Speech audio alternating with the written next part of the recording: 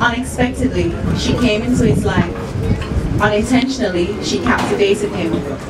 Unknowingly, she captured his curiosity. Unfortunately, he desired her.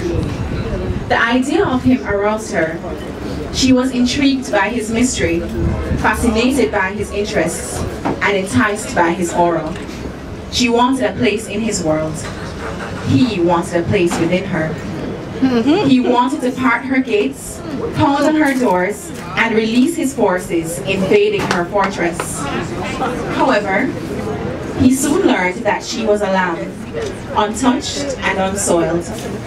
He realized that she was everything that he wasn't, pure and innocent. He no longer felt like a lover, but like a roaring lion, and she was merely his next victim.